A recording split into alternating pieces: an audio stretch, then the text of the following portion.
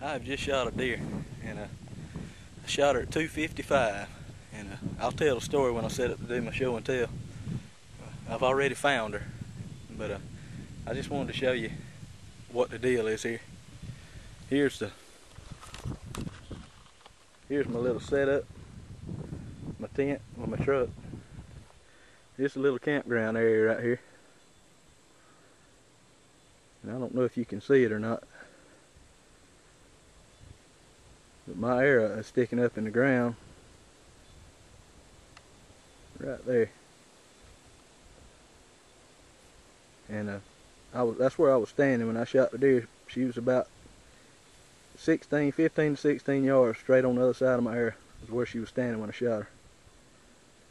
And uh, I'm fixing to walk down there and find her and set up and do a little show and tell and I'll finish the story then. Alright, I'm back down here at this little old creek. It runs through the bottom of this valley here. And uh, I've already crossed the creek. The deer came from up the hill right there.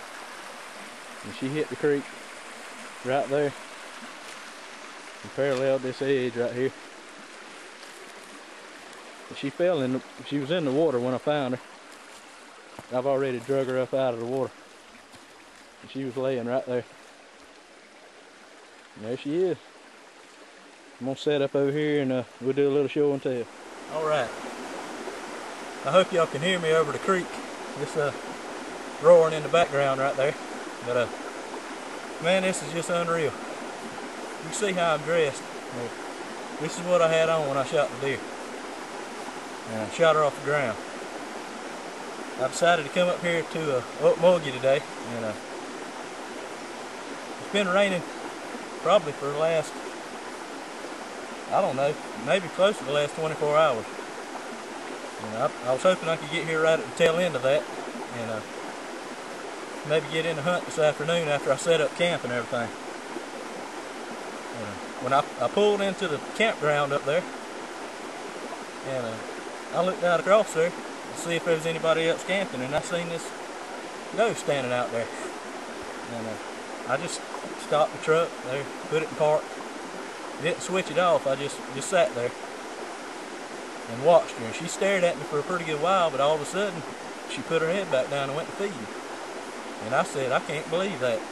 You know, she kind of tucked in behind some you know, viney pine trees and stuff.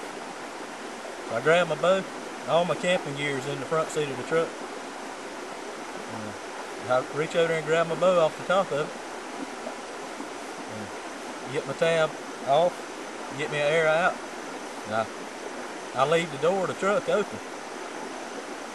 And I, I get into a little crouch and start trotting down there towards where she's at. And about that time I see her head pop up. She's looking right at me. So I just got as low as I could get and I could barely see her ears sticking up just a minute, she put her head back down. and uh, I trotted on up there and got in behind a pine tree, and I was probably within, I don't know, 25 yards of her then. And I kept watching her, and she was feeding along. So I, I saw opportunity, I eased on up and got probably within 20 yards of her, got in, in behind a pine tree. And she, uh, all of a sudden, she turned around and, and starts to walk out there. And, so I got in, I tucked in tight as I could behind the pine and, and went ahead and drew and leaned out.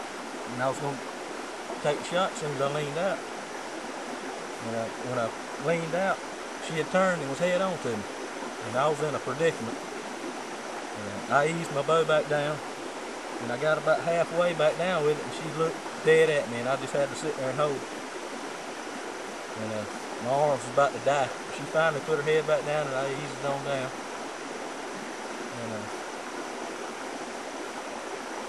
I didn't know what was going to happen then, but all of a sudden she turned around and started walking out. And there was a pine tree and she walked in behind and when she walked in behind it I drew and she stepped out just as perfect broadside at uh, I think of 15 to 16 yards when I stepped it off and uh, I shot her with that big old tree shark. And this is This is actually the exit wound. I think hide has slit holes. The hole is actually right here. But that's the exit wing. I'll roll her over. Let's see where it went in. Right there. That's where it went in. I hit her a little far back. But uh man it, it did the job on her. It was one of the best blood trails that I can ever remember. I mean it was just unreal. But the ground's still wet from all that rain we had. And uh I had a hard time with it. I had to hunt and peck and it took me I think it took me about an hour to find her.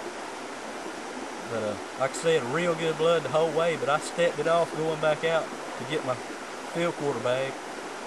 And I stepped it off, she ran 375 yards. And ain't no lie. And I, I don't see it, the way she was bleeding, I don't see how she, she made it that far, but she did. And, uh, she's a good sized deer. I can't uh, can't be any happier. Can't you can't start out a hunt any better than that.